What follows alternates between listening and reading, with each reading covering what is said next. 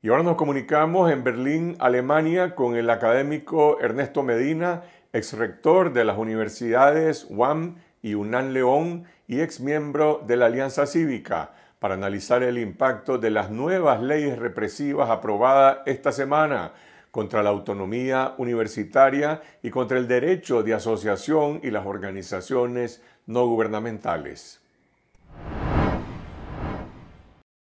Ernesto, ¿cuál es el objetivo del régimen al imponer esta reforma o una contrarreforma a la Ley General de Educación y qué consecuencias tiene para las universidades y para la educación superior?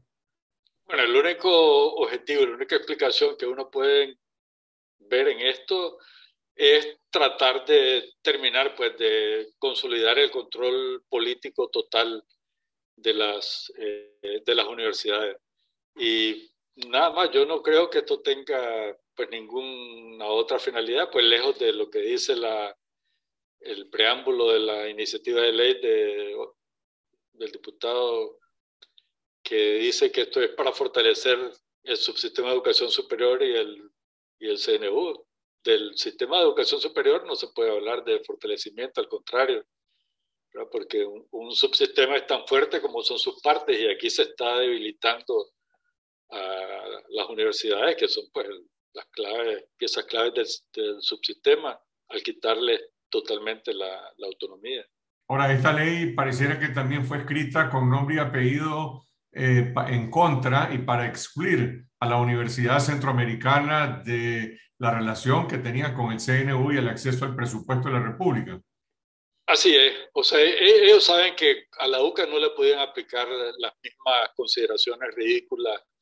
que utilizaron para cancelar la personería jurídica de las pues, dos universidades en total y las, las siete nicaragüenses. Pero en la UCA eso difícilmente podían, podían hacerlo y tampoco podían hacerlo pues cerrándola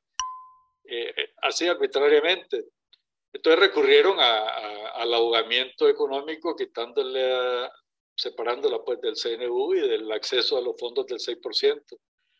Pero yo creo que la UCAS ya sabía que se iba a llegar a esto más temprano que tarde y, espero que hayan estado realmente bien preparados para enfrentar esta nueva situación. Pero todo este espectáculo lamentable que hicieron, pues con, con esta ley rimbombante y con la justificación ridícula que dio, el, diputado Porra, únicamente lo hacen, entre otras cosas, pues para debilitar a las universidades, darle un señal a las universidades y, y diciendo, pues ahora miren, si podemos con la UCA, podemos con cualquiera. Así que mejor se alinean, porque el objetivo final de ellos es acallar las voces críticas que todavía pueden quedar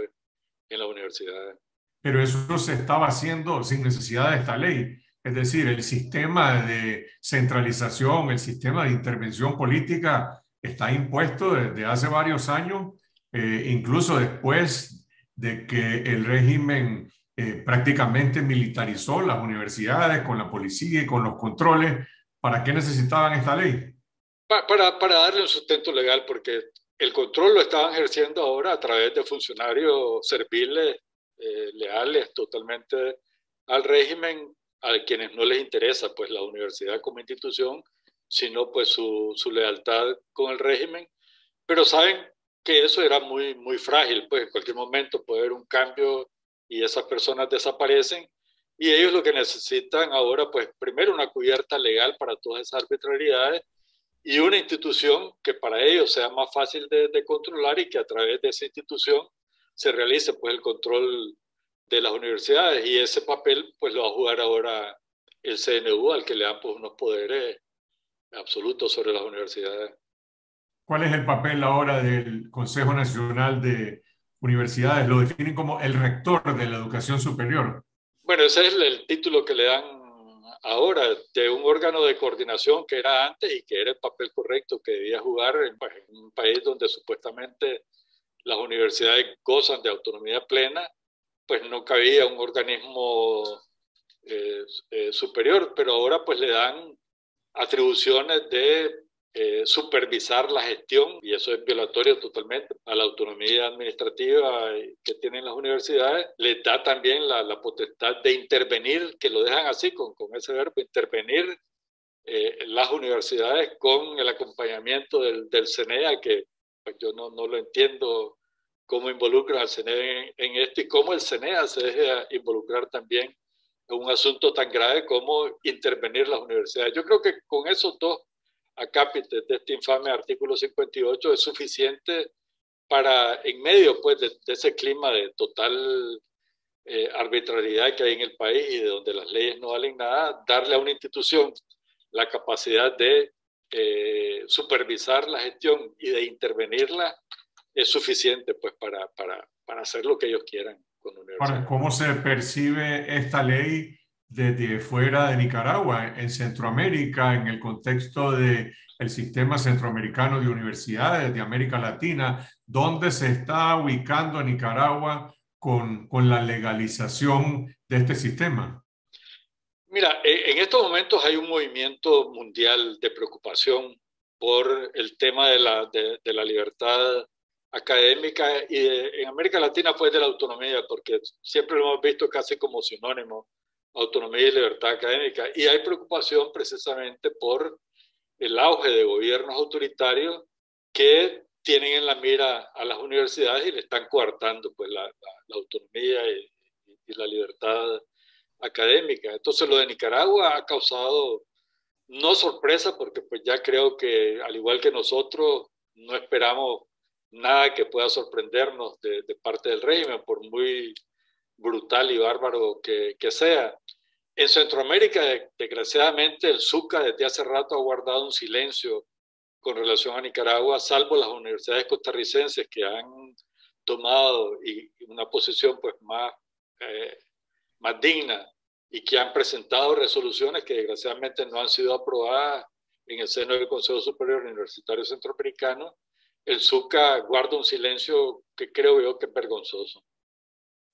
Ahora, bajo este esquema centralizado de ordeno y mando, ahora bajo esta ley, ¿qué consecuencias tiene para la docencia, para los maestros y para los estudiantes universitarios? Es decir, ¿qué impacto tiene todo esto en la calidad de la educación, en los que enseñan y en los estudiantes?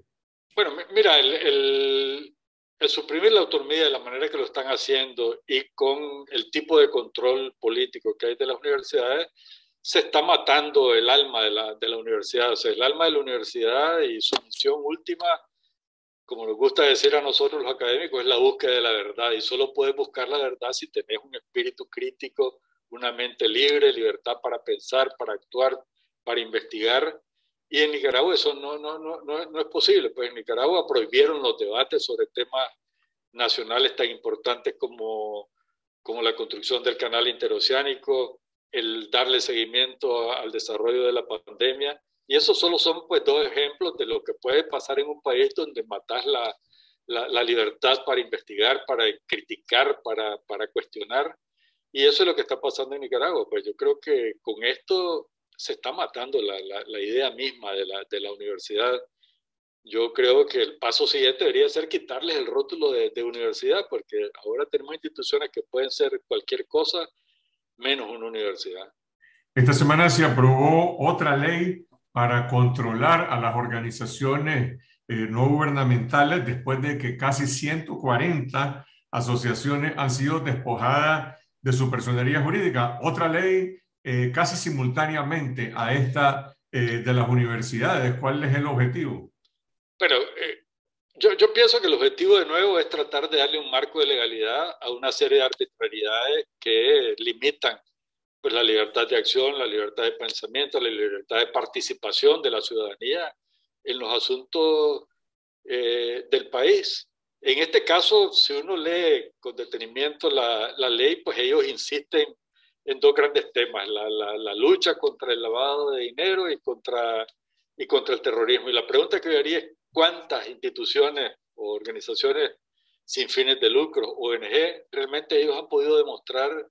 que, que, han estado promoviendo el terrorismo o el lavado de dinero. En el caso de la Fundación Violeta Barrios, donde hicieron pues la gran alaraca y, y, toda la tragedia pues que está viviendo la fundación y tu familia por una acusación como esta y sin embargo no le, no le han demostrado nada. Y a ninguna otra eh, ONG le han demostrado que tenga que ver algo con lavado de dinero. Todos sabemos que el lavado de dinero está en manos de empresas grandes que tienen capacidad de mover volúmenes enormes de, dinero mal habido y en Nicaragua sabemos de quién son esas empresas y dónde están esas empresas. Sin embargo, no hay ninguna ley que, que supervise y que, y que vigile el accionar de esas empresas que son las que realmente hacen lavado de dinero en Nicaragua. Esta ley legaliza la confiscación de bienes que ya se ejecutó en contra de distintas organizaciones no gubernamentales, eh, pero al final está contradiciendo un principio constitucional que dice que en Nicaragua está prohibida la confiscación de bienes. La constitución dice no hay confiscación y esta ley dice eh, ahora vamos a legalizar todas estas confiscaciones que ya se ejecutaron. No, de nuevo, de nuevo, eh, como te digo, todo esto es una apología a todas esas arbitrariedades y ilegalidades que hay en el país, igual que la, que la reforma a la ley 89 y a la ley general de, educación, porque recordemos el artículo 125 de la, de la, de la, de la Constitución incluye la autonomía universitaria y, y, para nosotros que estuvimos en esa lucha, el principio fundamental de esa lucha fue elevar a rango constitucional la autonomía universitaria para no quedar a, pues eh, a expensas de una ley ordinaria que en cualquier momento lo podía pisotear, pero ahora lo que están demostrando es que la constitución les vale porque ni siquiera hacen referencia al, al artículo 125 en la parte que compete a la autonomía. Mencionan el 6% porque yo lo que interpreto es de que Ortega piensa que él compró la autonomía universitaria con el 6% y que las universidades deben de callarse mientras reciben el 6% porque supuestamente eso es lo, lo más importante y, y lejos de eso. Igual con, con, esta otra ley, pues que, que confisca o que legaliza la, la, confiscación y que deja abiertas las puertas para cualquier tipo de, de, arbitrariedad por parte del órgano este que crean ahora para controlar y supervisar a, la, a las ONG. Y si le agregamos la tercera acción punitiva que se realizó esta semana, que es la condena judicial en esa simulación de juicio contra Juan Lorenzo Holman, el gerente general de la prensa, lo condenan a nueve años de cárcel, le ponen una multa superior a los dos, tres millones de dólares, pero además declara esa sentencia de que se queda en custodia, dice, de los bienes, se está refiriendo al diario de la prensa, es decir, prácticamente hay una confiscación de facto de la prensa, hay una confiscación de las organizaciones no gubernamentales, está esta acción de centralización de las universidades y anulación total de la eh, autonomía universitaria. Ahora, ¿puede en Nicaragua prosperar un sistema inspirado con una mentalidad totalitaria como esta? Cierre de medios de comunicación, cierre de universidades libres y por el otro lado, eh, anulación del derecho de asociación. No, Carlos Fernando, mira, cada vez más nosotros nos estamos acercando a un país como Corea del Norte y todos podemos ver, pues, qué cosa es Corea del Norte, ¿verdad? La miseria en que vive la gente de Corea del Norte, el, el, control total de la vida de, de, las personas y nosotros nos estamos encaminando ahí y obviamente eso es lo que nos esperaría si nosotros dejamos que, que siga avanzando este, este, esta ambición de control total de las instituciones y de las personas, porque lo más grave de esto es de que pretendan también que ellos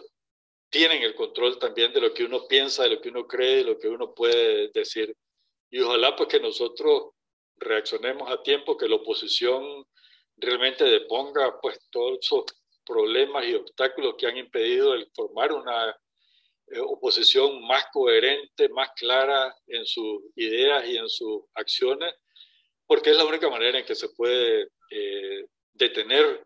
este deterioro progresivo de la vida eh, de, un país como está ocurriendo en Nicaragua. Y sin embargo, el presidente del Banco Central presentó un informe esta semana eh, confirmando que estadísticamente la economía nacional creció 10.3%, dice que es un, un crecimiento récord en el año de mayor crisis política cuando se anuló el derecho a, a una elección. ¿Puede la economía estar inmune a este rumbo totalitario que se le está imponiendo a la sociedad? Naturalmente que no, pues y con las estadísticas puedes hacerlo lo, lo que vos querrás mientras